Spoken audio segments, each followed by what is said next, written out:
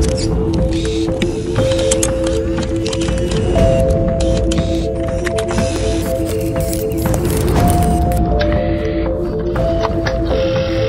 Interesante de la, pregunta sobre la guerra de la inteligencia artificial es, una dialéctica muy habitual en su momento. Hablar una guerra entre China, que sí que, que, sí que todas las predicciones hablan que en cuestión de pocos años, cuando va pocos años, dos, tres años, cinco años, va a tomar el, el liderazgo mundial en inteligencia artificial, pero el liderazgo puede ser muchas cosas, puede ser, por ejemplo, en, aplicaciones, puede ser investigación. Todavía en estos momentos en investigación Europa tiene el liderazgo sobre Estados Unidos y sobre China, aunque a veces nos parezca lo contrario porque sobre todo las empresas que más llaman la atención están en Estados Unidos.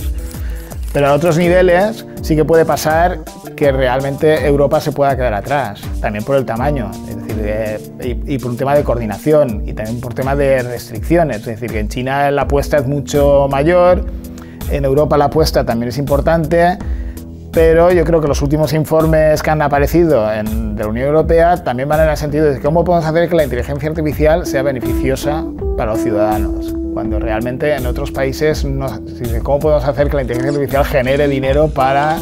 Entonces son, son dos objetivos muy diferentes. Claro, al final lo que lo que nos, nos, puede pasar es que en Europa, un poco por intentar regular demasiado o ver cuáles pueden ser las limitaciones que tenemos que poner en inteligencia artificial, perdamos el tren. Yo no hablaría de perder una, una, una, guerra o una carrera, pero, como la carrera espacial, pero, pero sí que podemos perder un tren y yo noto un poco esa sensación. Y claro, depende también de los países. ¿eh? Yo creo que, por ejemplo, el Reino Unido y Alemania yo los veo muy bien, pero luego hay otros países que, que no ponen esa prioridad encima de la mesa, por ejemplo España.